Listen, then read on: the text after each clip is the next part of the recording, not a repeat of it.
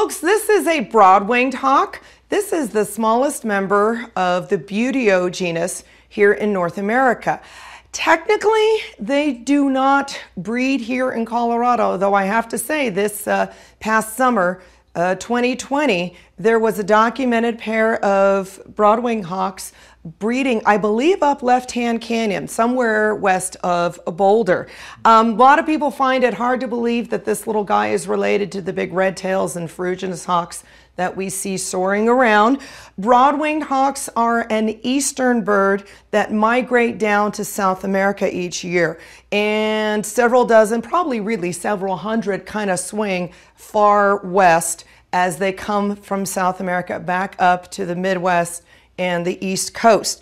Um, they are what I call a woodland buteo. That is not a scientific term, but these are buteos that have patterns, habits, and body proportions that are almost more like accipiters. We'll be meeting another one later on.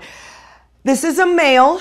He is four years old, and I'll tell you why we have him in just a minute. But as you can see, he is an itty bitty guy. Now, he has been in the summer, he drops to about 11 and a half ounces. Right now he is up to uh, 15 and a half ounces. Weights for wild birds range from about 9 ounces up to about 17. Obviously the females are much bigger than the males. They're called broad-winged hawks because they really do have wings that are deep, front to back, or quite broad in comparison to their body size. And that's super helpful if you're a hemispheric migrant and need to go from, you know, the upper peninsula of Michigan or northern Maine all the way down to South America. Um, these are one of the species like turkey vultures that go by the Great Migration Point uh, in Veracruz, uh, Mexico. So literally thousands and thousands of broadwing hawks are seen each year. They call that um, the River of Raptors. And the broadwing hawk is sort of the species that we can thank for the great research and East Coast hawk watching site up at Hawk Mountain, Pennsylvania. These poor little guys were slaughtered by the thousands, sometimes 10,000 a season. Hunters would go up into that natu natural um, migration pinching point, the cliffs up in Pennsylvania, and just shoot them as they came by, mistakenly believing that they killed chickens. Now, as you can see by these feet, Broad-winged hawks are one of these species that has a very diverse diet.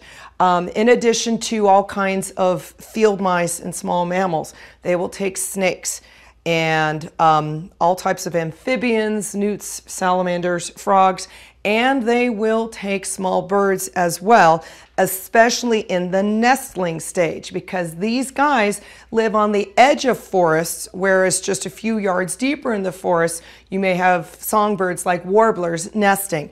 And mom and dad broadwing go, oh, perfect flightless snack right there in the nest, and they can pop in through the trees.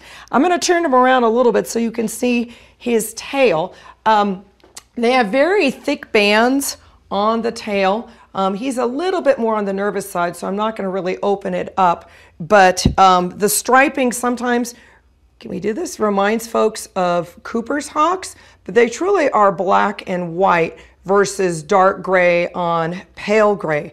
Um, this is one of only three Buteo species in the United States that has four emarginated primaries on the wings versus five. Um, the other is the gray hawk and the Swainson's hawk. And if you take a look at the pattern on his front, he kind of looks like a Cooper's hawk. He's got that brown horizontal hatching that um, in him, in some, some broadwings, it almost looks like a bib. Thicker brown hatching above and then thin brown hatch marks or bars in the belly area. Um, his eyes are still sort of a khaki pale color. At four years old, normally his eyes should be a deep brown at this point. But as I've seen with several of the birds here at the Raptor Education Foundation, when they grow up in captivity, the color of their iris seems to experience delayed maturation. I've talked to a couple of big um, East Coast um, Raptor Rehab Institutes about this phenomenon. Some people have observed it before. Somebody needs to do a study on it. It's very anecdotal, but many people have agreed with me. He came into human care because when he was just about mm, few months old, right out of the nest, he suffered a fracture in his left humerus. He was in immature plumage and he was hit by a car. So he was rehabilitated at the Carolina Raptor Center, which is in Charlotte, and then sent to us uh, the following year.